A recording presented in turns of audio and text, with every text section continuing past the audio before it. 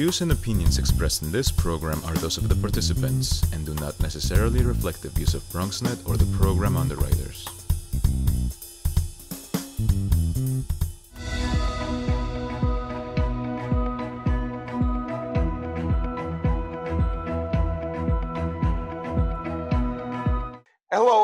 Social Justice Forum. I am Daren Jaime, and of course, we thank you for joining us. For those of you that asked the question, what exactly the Social Justice Forums are all about, well, we provide a deeper understanding and go into deeper depth, if you will, uh, with issues and inequities that communities of color face. And then we also get multiple points of view, trying to bring you more perspectives as we have topics that need discussion, and then we have guests that have answers. And we try to bring you both solutions and also talk about some of the problems right here on the social justice forums. One of the big problems that's been plaguing New York City and particularly here, the borough of the Bronx, for a long period of time is the violence that's occurred over the summer. Many people are up in rage and in arms about the fact that young people are particularly losing their life to gun violence. A recent rally was held to talk about dealing with just that it was a march to end gun violence. It was to save our sons and sisters. And our reporter, Arlene Makoko, was out there and she brings us a story right now. They're calling it Operation Save Our Sons and Sisters. Community leaders were gathered at 170th Street and Sheridan Avenue to denounce the recent shootings in the Concourse and Claremont Village communities. Right here at this very intersection on July 5th, Anthony Robinson, a father, was shot dead walking his seven year old daughter down the street. We wanted to come right here because the 44th Precinct in Claremont and Concourse has seen far too many shootings in the last 30 days. 40 year resident Smiley O. Smith joined others here agreeing that the shooting must stop. So the, the gun violence has to stop one way or another. So I'm here because gun violence is a part of our communities that we need to eradicate in its totality. And the only way to do that is to be a unified front. Also calling for an end to gun violence was Eve Hendricks, the mother of college bound 17 year old basketball player from Monroe High School, Brandon Hendricks, who was fatally shot June 28th, just days after graduating. Police arrested 22 year old Naheem Luke in connection to the shooting, but DA Darcel Clark shared that a return to safe streets requires the cooperation of everyone, including law enforcement. We need the police to help us do this work. There are good cops out there. The bad ones, we got things for them. And I'm the first to tell you that. I will do that. But the good ones who are helping these communities, the people that care, the ones that are helping to apprehend these shooters, those are the ones that we need. And we need them to be able to do their work. So anything that's stopping them from being able to do their work is stopping our community from being safe. Operation Save Our Sons and Sisters also looks to create safe environments for learning and sharing. Operation SOS is going to not only start here at the 4-4, but we're going to travel all across the district because we want to talk to young people. We want to engage with them. We want to give them options, something better than they have been shown. We come together as people of faith, of clergy, community partners, anti-gun violence advocates, elected officials. We're all coming together because we know our children and families deserve better. The speakers here are inviting the public to join them on a march against violence. It'll begin at Mott Playground at 5 o'clock on Thursday. For BronxNet, this is Arlene Makoko. And thank you, Arlene. And right now, we are pleased to be joined by Bronx District Attorney Darcel Clark, who joins us right here on the Social Justice Forums. And uh, District Attorney Clark, thank you so much for being with us. Thank you for having me, Daren. Yeah, so as we look back at yesterday's event, or I should say the, that yeah, yesterday's event, talk to us a little bit about the event um, and your thoughts. Do you feel like your voice was heard? I absolutely feel like my voice was heard, but it's not about my voice, it's about everyone's voice. That was a tremendous showing of unity in our community, something that we really need because this violence is out of control. It's killing our sons, our sisters, as we talked about, SOS.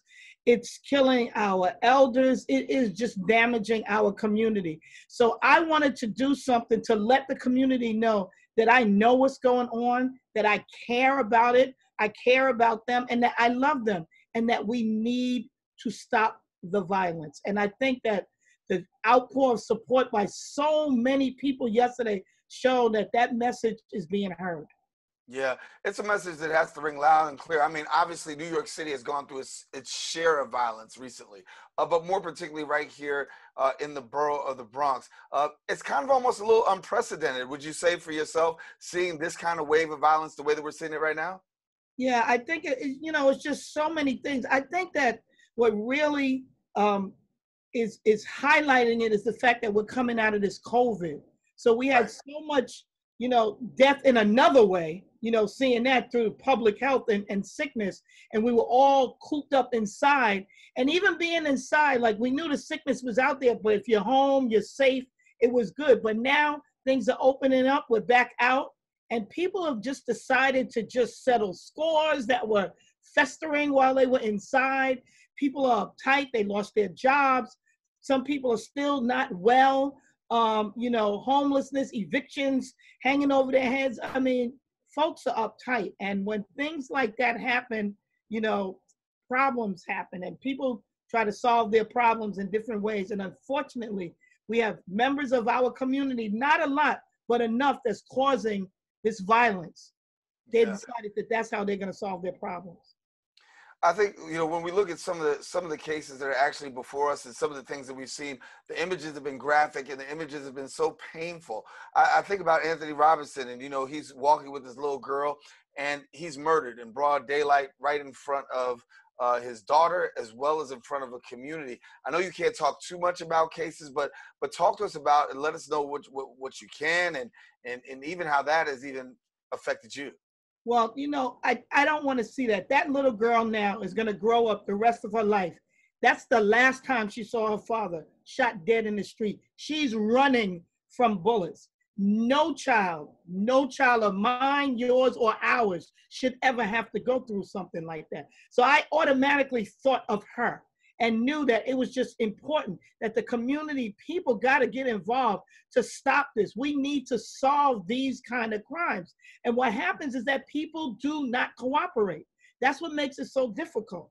In this case in particular, we were able to solve it. We have people under arrest, we have people charged with this, but this was a retaliation. This was a shooting um, a, a day or hours before Anthony Robinson. Then Anthony Robinson is shot um, while a, in a drive-by with a car with a number of individuals inside. And then hours later, two more people were shot and killed. One of them was in the car at the time that Anthony Robinson was shot.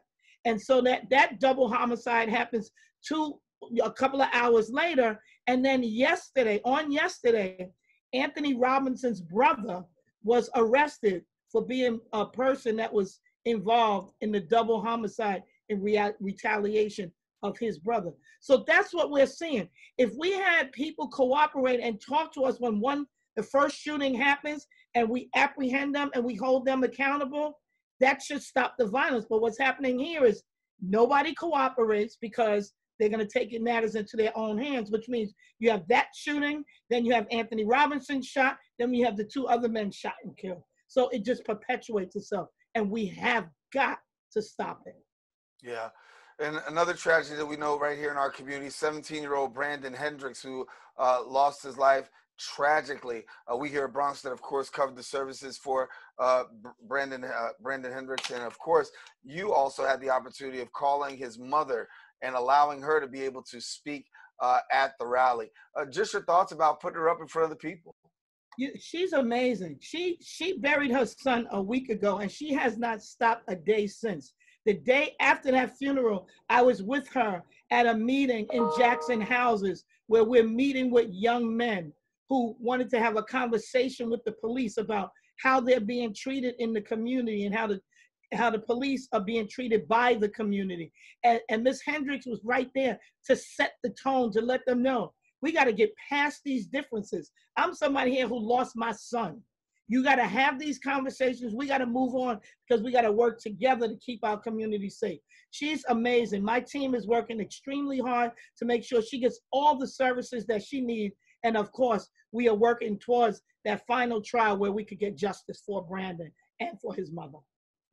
You, you got a lot of work ahead of you. Uh, some cases, some real major cases that we, of course, know here that you're dealing with, and then the other stuff that we probably have no idea that you have to contend with on a day-to-day basis. But for an outsider looking in, uh, and they look, and sometimes they make a sweeping generalization of the borough and say, "Listen, this is, you know, these are a bunch of, you know, these are a bunch of people in, in the Bronx, and they're all crazy." But what we're actually seeing, actually, from what I understand, is predominantly a lot of gang activity. Correct? We have we have a lot of gang and crew activity.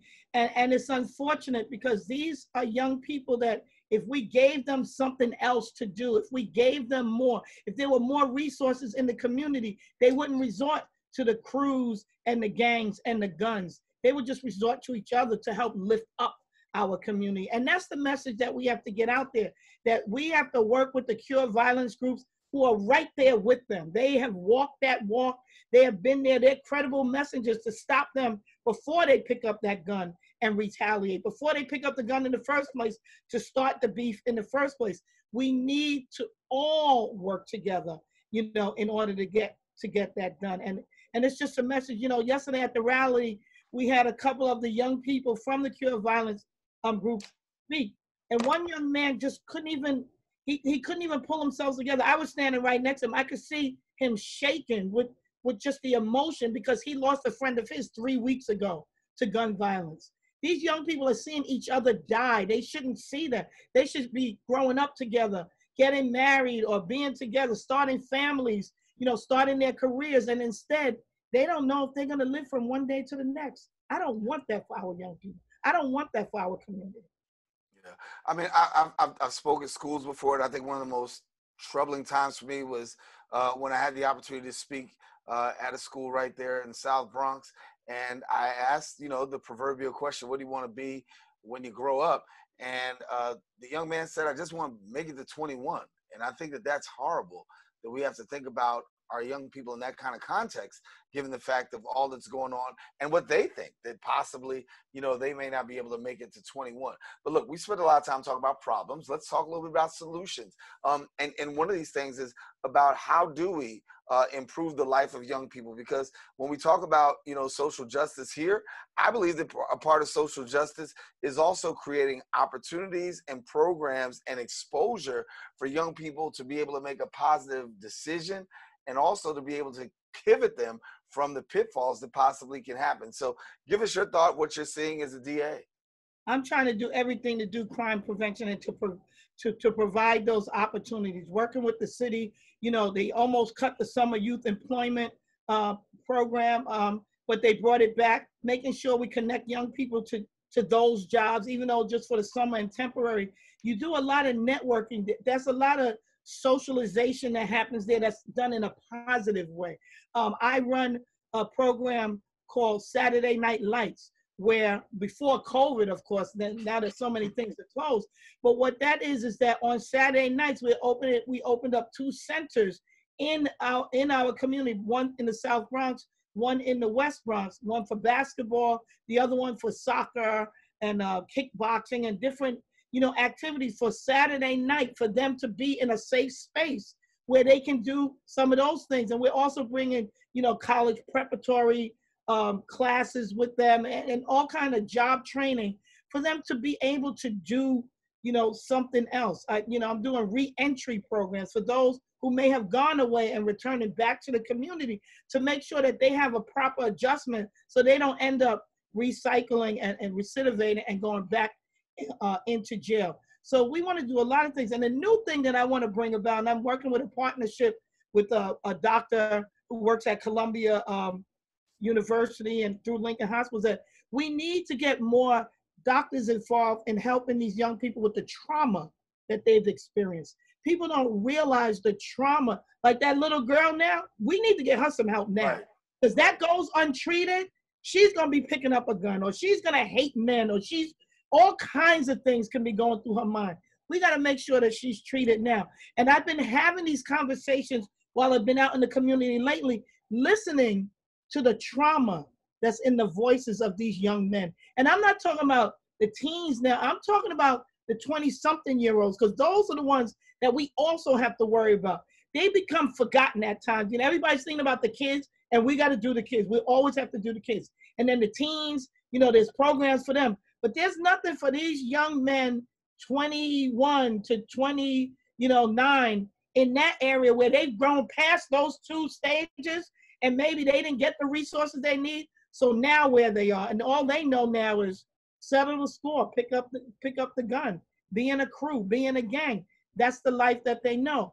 We need to give them options as well. When I spoke yesterday, you know, I talked about the, the cases that we know. Brandon Hendricks, you know, that was in the papers. Everybody know the one-year-old child in Brooklyn. Um, we had Tiana um, Johnson uptown celebrating graduating from Monroe College with her associate's degree, gunned down, you know, at a barbecue celebrating her graduate. Those are the ones that we see in the people all, paper all the time.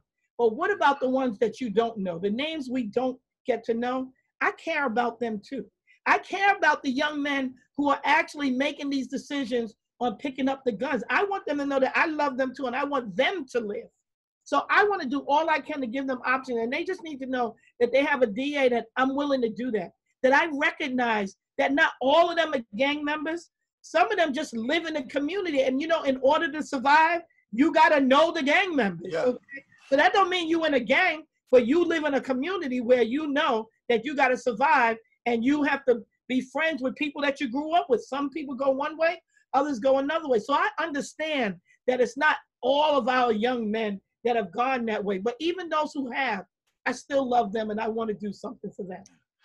Gun violence is major. And I mean, when we talk about young people who are engaging in gun violence, the thought of it in many ways is unheard of. But then, yet, and still, the fact remains a lot of young people are still picking up guns and they're using them and they're using them to the detriment of the community and they're also taking people's lives. So uh, let me ask the question from a DA perspective. Do we have any intel? Do we know where these guns are coming from? Because the average Bronxite is watching right now. People across New York City, they hear the gun violence, they hear, they say, okay, you know, but they're coming into the community some kind of way. What are we learning about, you know, these guns coming into the community? If anything that you can share. Unfortunately, New York is part of the iron pipeline, is what they call it. And it comes from these states where you can get guns easily. People go down there, buy them, you know, legally, bring them up here and sell them on the streets here. We've worked with the um, ATF, you know, alcohol, tobacco, and firearms, you know, the DEA, different federal government agencies to help us in that work because really, we have great laws in New York State. We have some of the strictest laws in the country. We do well, but we still have to find a way to stop the guns from coming into our community. So it's a it's it's, it's a dual battle, dealing with this once the getting the guns from stopping to come in, and then dealing with the aftermath of what happens once the guns get in here. So we have to work with the community again. I, I've been pleading with the community when something happens in your block, on your neighborhood, in your building, we all know who did it. They need to help us get to the bottom of this. If you know people who are selling guns in your community, we need to know that. Help us stop that. And that way, the, the gun violence and the deaths will stop as well. So, any way that we can get help from the community, we need it. Yeah a lot of people ask the question about the gun buyback program. Is that a good, reasonable option? I mean, we've, we've heard it utilized before. Uh, some people say it works wonders. Some people say it doesn't work. From uh, your perspective, how do you how do you see the gun buyback program? I like gun buyback programs because every gun we get means somebody can't be shot with it. So any gun, one or a hundred, as long as we get that gun, that means a little kid can't pick it up show and tell in a room where nobody knows and, and shoot each other. That means that somebody won't be able to commit suicide with it. That means that somebody won't be able to bring it out on the street because they think they need it for protection and they end up getting shot or they shoot someone. So I'm in favor of them. Some people say, oh, the real shooters are not the ones turning in the guns. But you know what?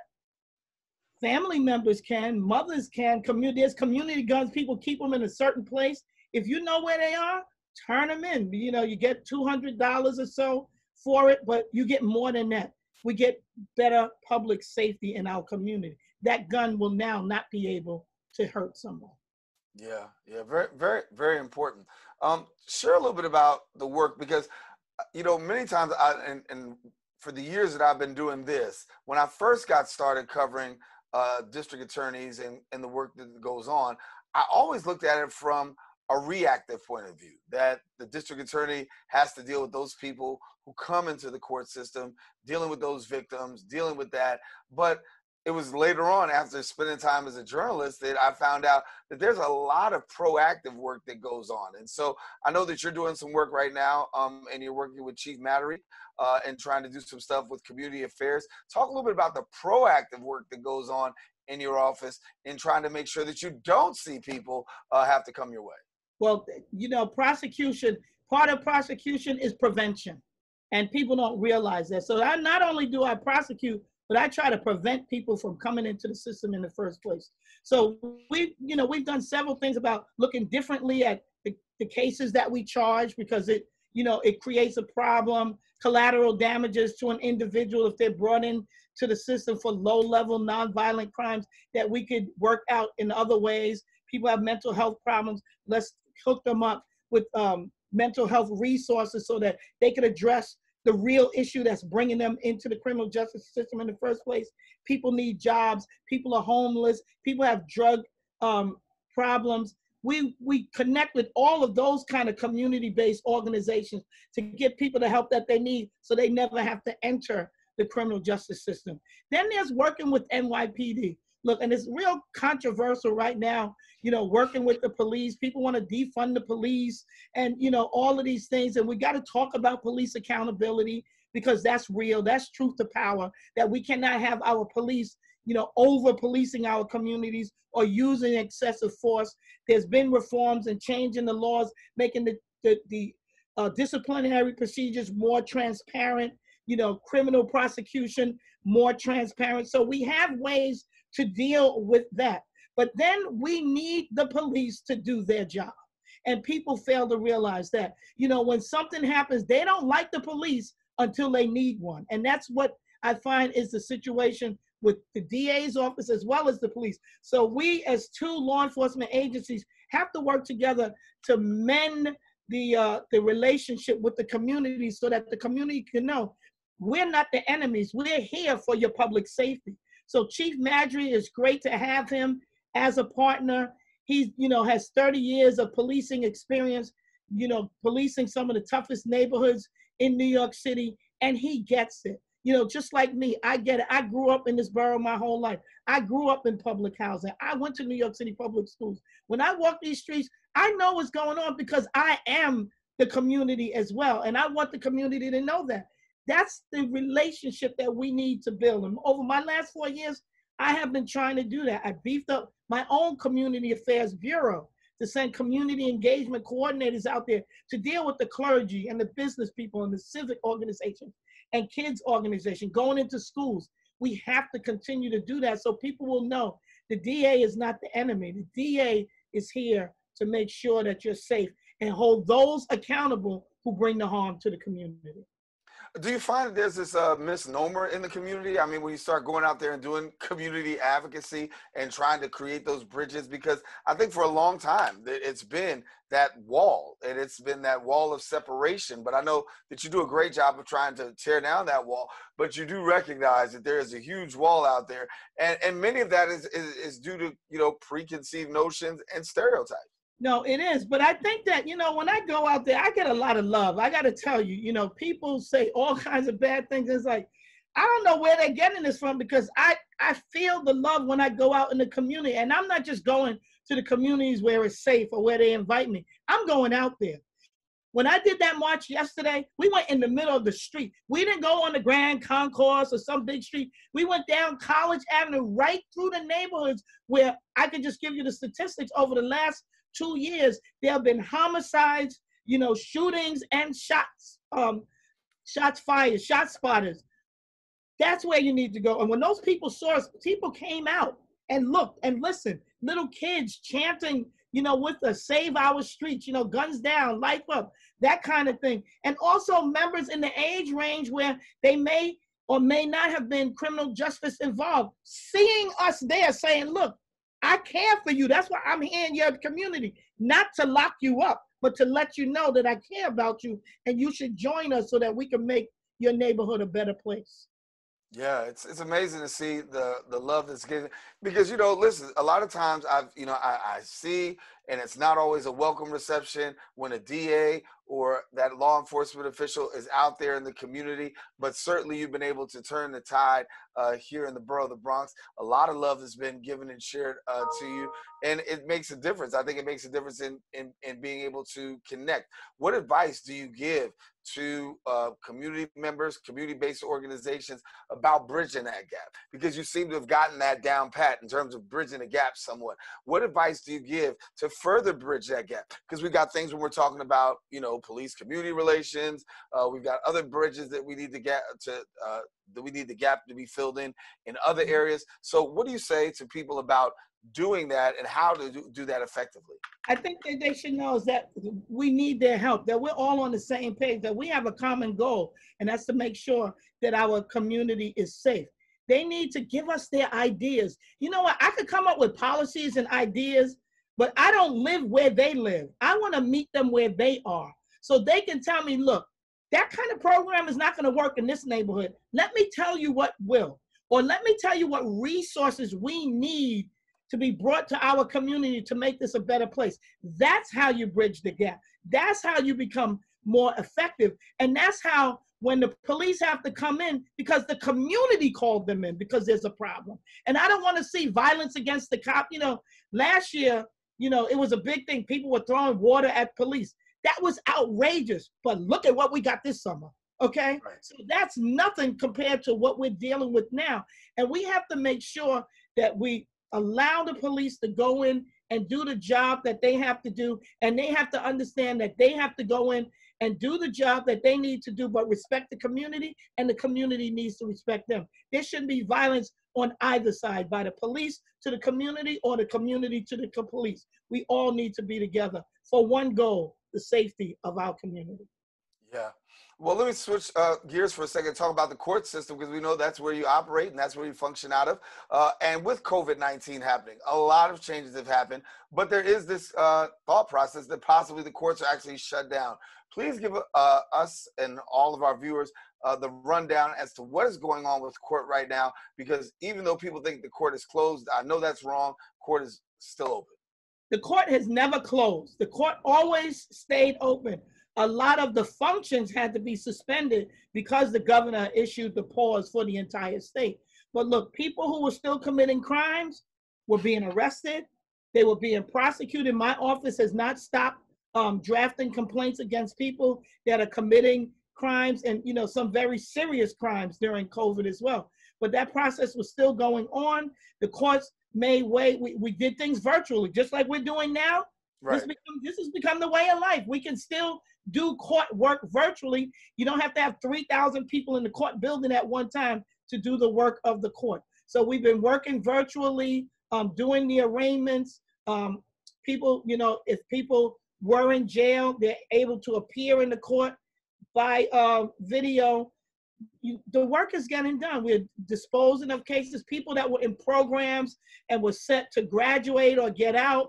You know, because of the pause, things were slowed down but we're slowly but surely bringing them online virtually, letting them complete the things that they have to so they could go on and get their jobs and, and go to school and continue to do the work that they do. So the courts have been open. Yeah. Courts have been open, never closed, because my people are working as hard as ever from home. Yeah. It's, it's been a change, but is there any concern on your on your part because we know before this before COVID even happened, there was this backlog in the court system. Mm-hmm. Uh, and so people are wondering now, post COVID, are you anticipating a huge backlog or are things going to be able to get back well, to pretty much what it was? There's no anticipating about it. We have a huge backlog now. And one of the reasons why is that we haven't been able to bring the grand juries back or regular trial juries because the public is not healthy yet and, and the pause is still going on. So until we can bring that function of the court back, cases have just been piling up, you know, because it's not like people are not still getting arrested. Um, they are, they still have to be processed, but we still have all the cases that were pending pre COVID and all the cases that have happened since then, but we have not been able to um, present them to grand juries because the grand jurors haven't been here. Now, the county clerk has sent out subpoenas summoning the grand jury to come back now. I, the, um, the court date is August 10th that we believe we will be able to start grand jury work again. but it's up to the public to see how many people are going to respond to the subpoenas because so many people are sick, taking care of school age children where they have no child care. You know, transportation is an issue because of COVID. A number of COVID related things are going to have an impact on how many people we actually get in to become grand jurors again. Yeah, you led into my next question talking about COVID, and uh, give me a little bit about the trends that you're seeing because COVID 19 has definitely brought some things out in people. Uh, and so, when it comes for you, looking through your lens, how do you see uh, some of these trends that have occurred uh, in our community due to COVID? Well, I know, unfortunately, in the Bronx, you know, this the testing is behind. You know, we don't have the healthcare resources that we really need. We have poor communities here and people are compromised already be, before COVID. But now, because we have high incidence of diabetes, hypertension, you know, autoimmune um, um, disease in our community, you know, people are not getting well. And, and it's unfortunate and it causes trauma to them as well. This is a real public health crisis that we have to treat as a public health crisis. And we need to put enough resources in the communities that need it most. Okay. And again, the Bronx is always getting the short end of the stick. I always say I'm so tired of, of us being first in everything bad and last in everything good. They need to, you know, we need to change that narrative, even in COVID, to make sure that we get the resources that we deserve and need in the Bronx. You get the final word. What do you want Bronxites to know? That I'm here for them. I love them, and that um, we we're gonna get through this. We're gonna get through all of the violence. You know, I, I pray each and every day that our community is gonna see. You know, we're having all these protests. Black lives do matter, but Black lives need to matter to us first and foremost, and that's what's in our community. So we need to care about each other first. We need to protest as hard about the violence that we see in our community as we are protesting about the police accountability issues. You know, that's one issue, but we need to start right at home. We need to do all that we can to make our communities healthy and safe, and that they have a partner in the Bronx District Attorney. Bronx District Attorney Darcel Clark, thank you so much for joining us here on the Bronx Social Justice Forums. Thank you so much, Daren. It was a pleasure. It's certainly no, it's my it's my pleasure as well. And so Thank you, uh, District Attorney Clark. Listen, we got to take a quick break, but coming up after this, we're going to introduce you to an original Freedom Rider here on the Social Justice Forum.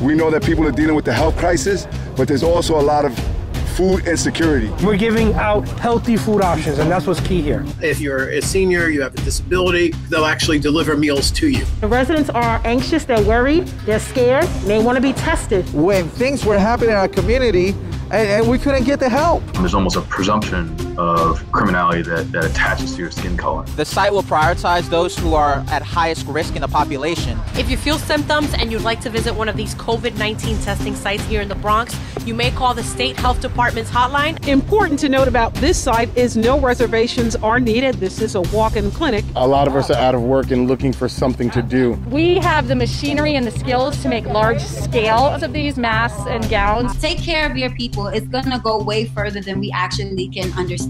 Right now, employees like myself are just adjusting to the new reality. Reporting, from this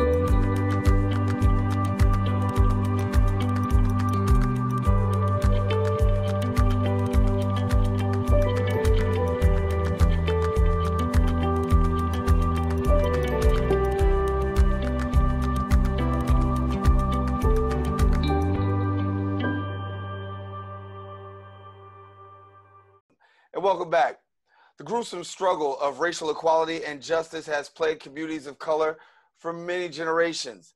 In the 1960s, national attention was focused on extreme racial discrimination in the South, as well as the challenges being faced by many, including housing discrimination, educational dis- uh, discrimination, educational opportunities, and also the limited employment opportunities for African Americans.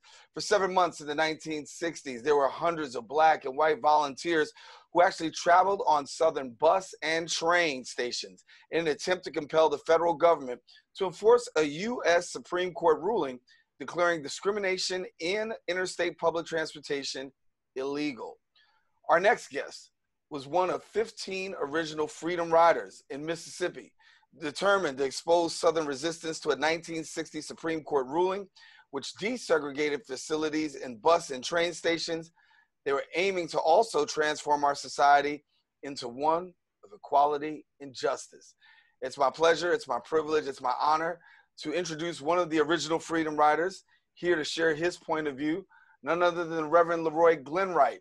And Reverend Glenn Wright, thank you so much for being with us here on the Social Justice Forum. I'm glad to be of service. I want to take the time for you, for many people who may not know, um, you were one of those original Freedom Riders. You rode with uh, former Congressman John Lewis and also uh, CT Vivian, who is also a friend of yours. Uh, from your perspective, first of all, just your thoughts on the passing of John Lewis and CT Vivian, and both of their passings happened within 24 hours. And first of all, our condolences to you too.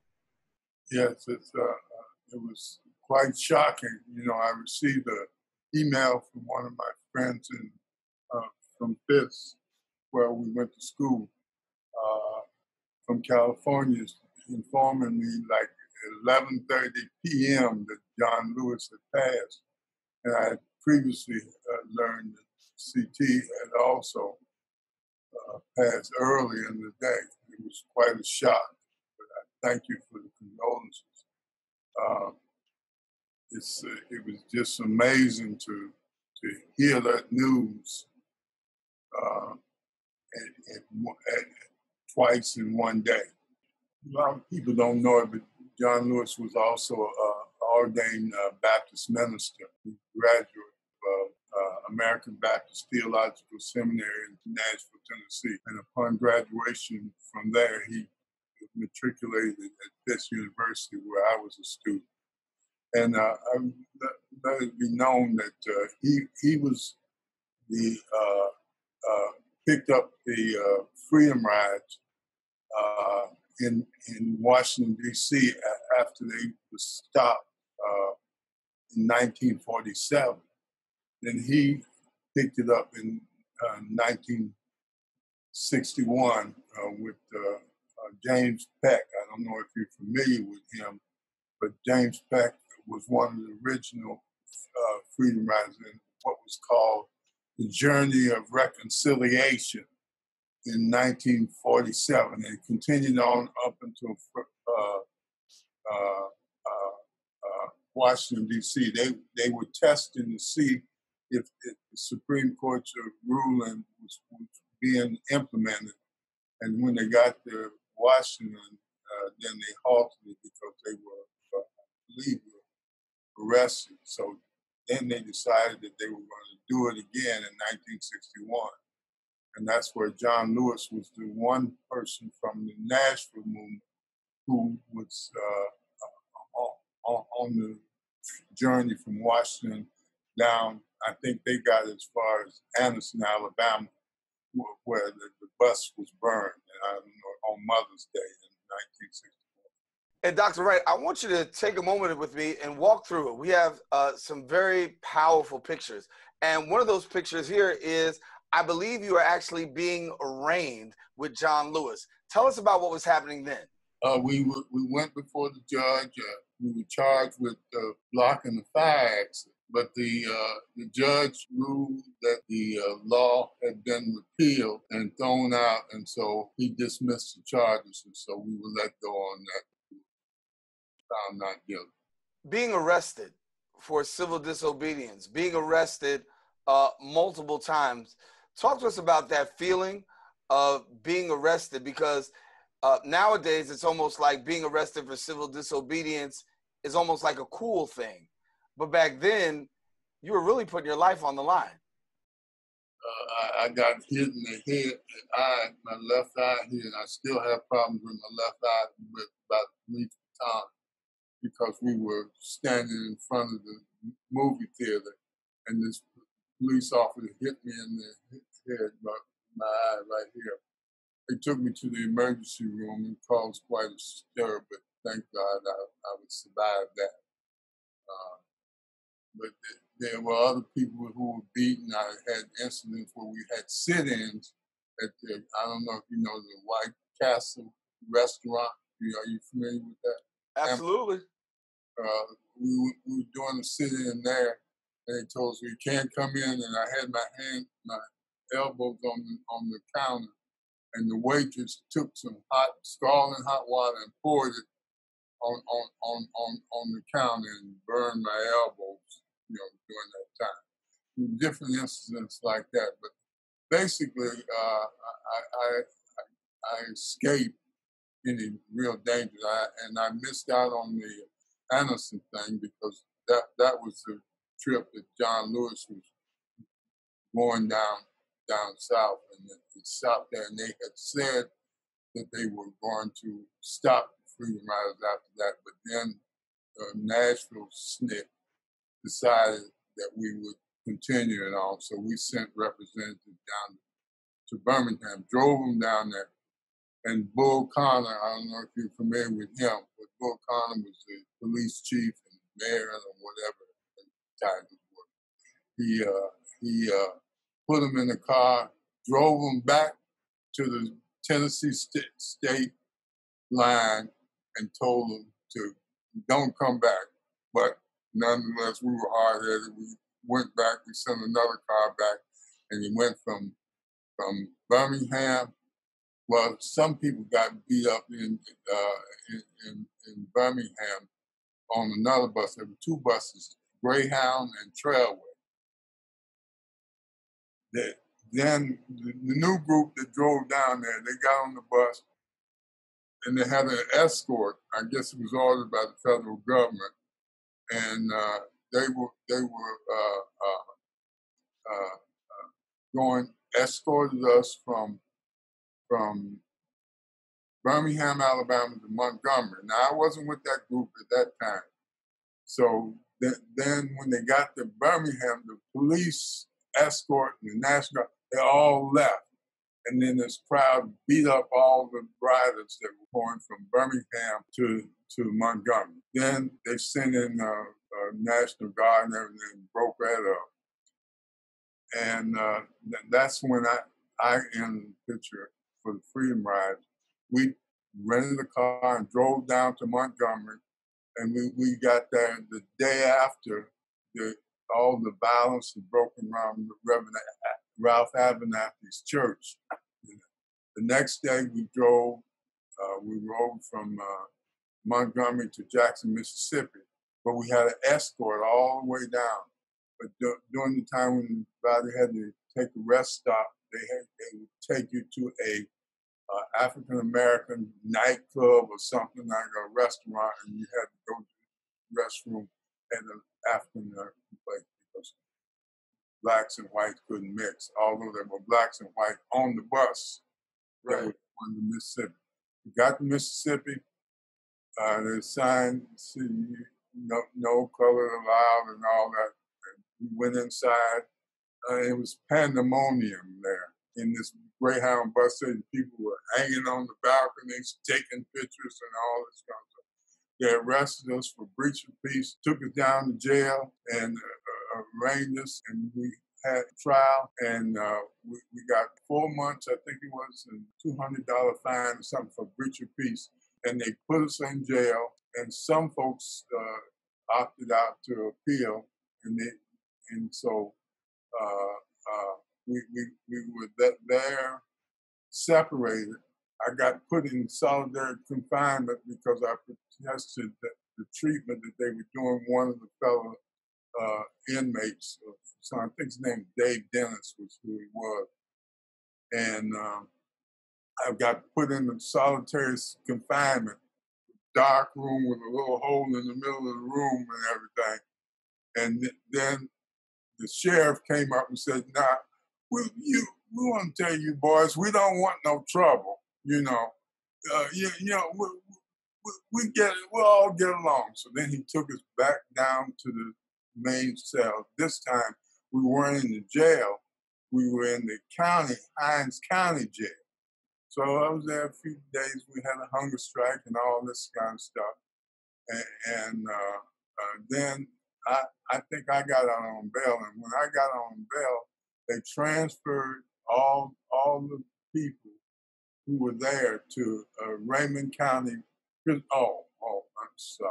I'm jumping the gun. I forgot. Before I got out on bail, they took us out to James, uh, Raymond County Prison Farm and um,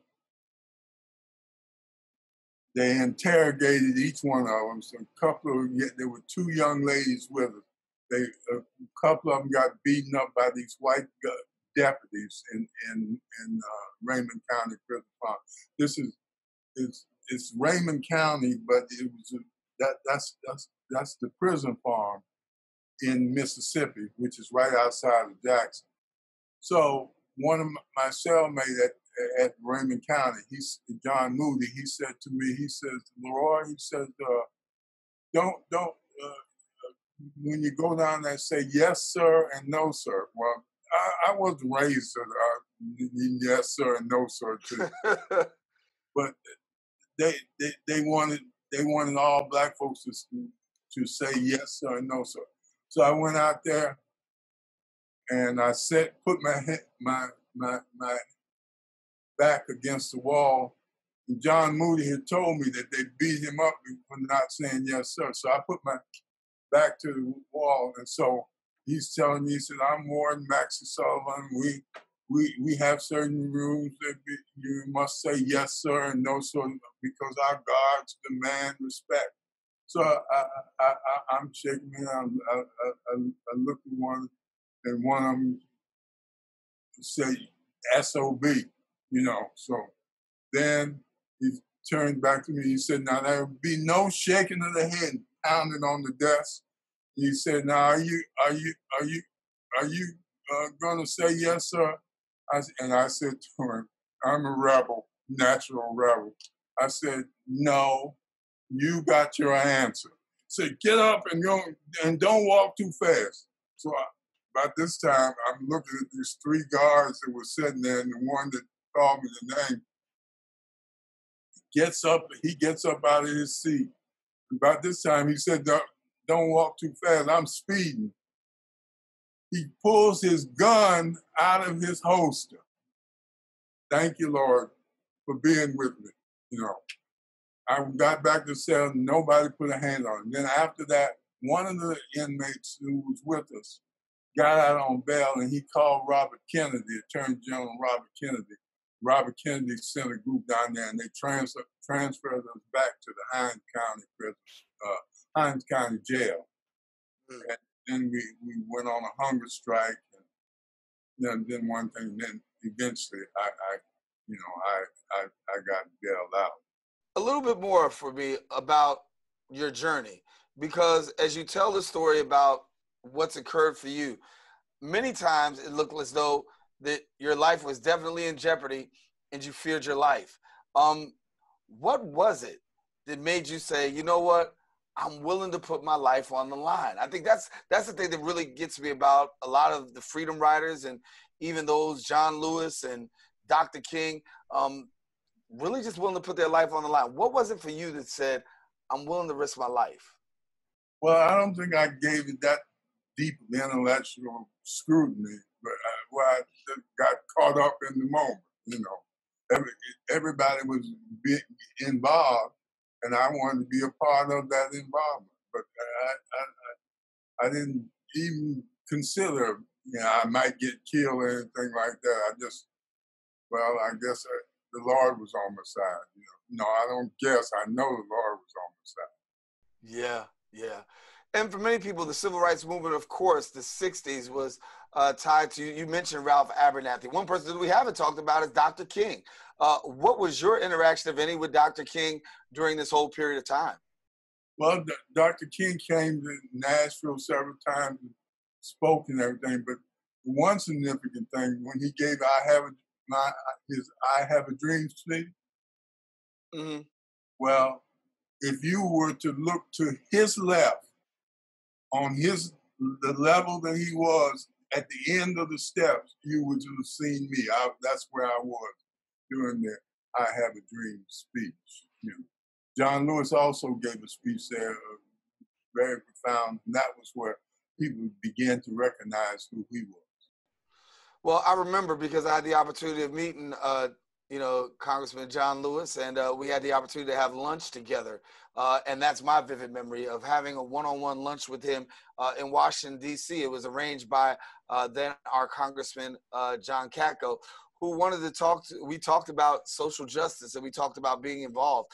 Um, and then he proceeded to take me on this walking tour of all of the pictures in his office. And you talked about the the March on Washington, and I remember because he took me to that picture, and he showed me that picture. And this is what he said.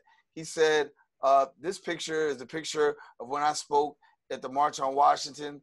There were ten speakers that day. I was number eight. Dr. King was number ten, and of all the speakers of the at the march at the March on Washington, I'm the only one that's still alive." And it was my thought that when he passed away, history actually passed away, and history went on to be with history. And so, of all the speakers that that were there, all have since deceased. But you're still alive to tell the story. So, what do you want people to know about yourself? People like John Lewis, people like Dr. King, people like Abernathy. What do you want people to know? Well, that, that if you're persistent and you don't take no for an answer, uh, uh, uh, then you will be successful. You have to be saying, trust in God. If you trust in God, you will make it through. Are you happy with what you're seeing today? I mean, obviously, uh, we're seeing a lot of protests and we're seeing some change in the criminal justice system, uh, particularly by way of police officers ad- addressing police brutality. Are you happy with the activism that you're seeing today? Yes and no. Uh, it, it, it, it's like it's a cyclical thing, up and down, up and down, and doesn't really not. To me, it's not cons- not consistent enough. They get diverted too easy about them. But one thing that, that I, I, I, I, am proud to note is that here in Syracuse, they had that 40, 40 day march uh, uh, for Black Lives Matter. And I thought, and the people stuck with it for 40 days. So I thought that was a, a wonderful. Yeah, well, I think, but I think, Dr. Wright, uh, you know, Glenn Wright, that it's also about your just due. I think Americans don't know the sacrifice that you made as being a freedom rider. I think that when we talk about the freedom riders, the big names will always get the attention, of course, and, and rightfully so. You've got the John Lewis's, you've got the Dr. Martin Luther Kings. Uh, I know also another, you know, another person, uh, the Reverend Emory Proctor, uh, big name out of Syracuse, New York, pastor of the People's Church. Um, he was a freedom rider, and yourself, and you guys actually um, literally put your lives on the line. And I think that if we look at activism today and we look at where we are today, we also have to look back from whence we came. And when we look back at whence we came, we wouldn't be where we are as far as voting rights, as far as civil rights, as far as many of the rights, if it wasn't for a person such as yourself. So you deserve it and, and, and you and you definitely need that and then much, much more. Um, and so give me that thought about what it means to you today, looking back at the part that you played in history. Well, to me, it, uh, it, it seems that we still have a long way to go. You know, we still have police brutality, which is plaguing the the, the, black community uh, over and over and over again, and nothing being done. You got look in Chicago, out in Seattle, all the, the uh, President Trump has sent in National Guard to beat down the people in both those cities. And you know, we, we have a long way to go. You know, it's yeah. unfortunately, it, this far, like 40 some years since the original free riding sit ins and stand ins, we're still fighting the battle. You mentioned the name Bull Connor earlier. Of course, I'm very familiar with Bull Connor. Also, President Lyndon Johnson. When you think about President Lyndon Johnson and you think about President Donald Trump, um, do you find similarities? Uh, I, I, wouldn't put uh, uh, uh Donald Trump in in the same uh, lane as Lyndon Johnson. I, I have a greater respect for Lyndon Johnson than I do with Donald Trump. Donald Trump is for Donald Trump and only for Donald Trump. But uh, he, he's see, it looks like he's seeing the handwriting on the wall that the polls are saying that he uh, uh, he he's he's not going to uh, not going to be reelected, and, and uh, it, it, it's it's just it's a sin and a shame. And you mentioned Congressman Katko. He's not one of my favorite either. You know, so uh, uh, uh, uh Dana Balter, I think, should be uh, elected. Yeah. And for those that don't know, uh, up in the upstate New York area, there is a congressional seat that's up for grabs. Uh, Congressman John Katko, the Republican incumbent who's also uh, endorsed Donald Trump, is going up against the uh, Democrat, Dana Balter. And so when you hear uh, Reverend Glenn Wright say about uh, Dana Balter, that's the Democrat that's running for the seat compared to the Congressman, the incumbent, John Katko. Are you hopeful? uh, that this presidential election will bring about change um, in America? I hope so. I hope that uh, uh, uh, Joe Joe Biden nominates Stacey Abrams from Atlanta, Georgia. That's who I'd like to see as his running mate and see the two of them get elected. Mm. And talk to me about what do you want to see by activism? Because there's a lot of activists out there, people with boots on the ground what's the message you want to send to them as a freedom rider, as a civil rights uh, advocate, as one who fought for human rights, and one who's been on the battlefield far longer than many people who are uh, presently alive today? Talk to us about what you want to see. Well, I want to see people get more involved. I want to see more people register and vote. A lot of people are registered and they're not voting. You know, because they, they say, "What's the answer?" Is nothing's changing, and so they won't exercise their constitutional right. So I think I would like to encourage more people to register to vote, and then and, and encourage them to encourage other people to register and vote. Well, Reverend Leroy Glenwright, I just want to thank you because I think that you're a legend. Um, I think when we talk about the civil rights icons of John Lewis, C.T. Vivian, uh, Joseph Lowery, Reverend Dr. Martin Luther King, Ralph Abernathy, and all these other great names that we that we have that, that are worthy of accolades and worthy of honor. That your name ranks right up there with them. And so it's been a pleasure, a privilege, and an honor to actually have you sharing with us here on the Social Justice Forums. Thank you so much for, first of all, your sacrifice and your continued labor of love in the area of racial justice, equity, and also civil rights. The Reverend Leroy Glenwright. Well, we want to thank the Reverend LeRoy Glenn Wright, and we also want to thank Bronx District Attorney Darcel Clark for joining us here on the Social Justice Forum. A lot of information was shared here today, and that's what we want to do on the Social Justice Forum. We want to give you the necessary information so that you can become more informed as to the things that continue to go on in our society and our community. For all of us here on the Social Justice Forum, I am Daren Jaime. We encourage you to come back next week where we'll have a brand new episode. We'll have some more interactive discussion, and we'll bring you some more people who are actually making a difference in our community. Daren Jaime saying, take care. God bless We'll talk to you soon.